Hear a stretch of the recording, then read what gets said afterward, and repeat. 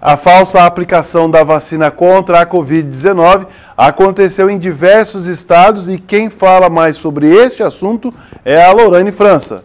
Recentemente, nós acompanhamos em todo o país, em vários estados brasileiros, a falsa aplicação de vacinas contra a Covid-19. Esse episódio foi flagrado por famílias, esses episódios, inclusive porque foram mais de um, foi, foram flagrados pelas famílias, principalmente de idosos que no momento da aplicação perceberam que os enfermeiros não estavam injetando o líquido da vacina contra a Covid-19. O Conselho Federal de Enfermagem disse que vai investigar e já afastou as pessoas que fizeram esse tipo de atitude, que tiveram essa atitude contra esses idosos que não aplicaram a vacina contra a Covid-19, para entender também o que, que levou essas pessoas a desviarem essas doses da vacina. Aqui no estado, o secretário de Saúde, Geraldo Rezende, disse que esse tipo de situação não será permitida, que a Secretaria de Saúde está atenta e fiscalizando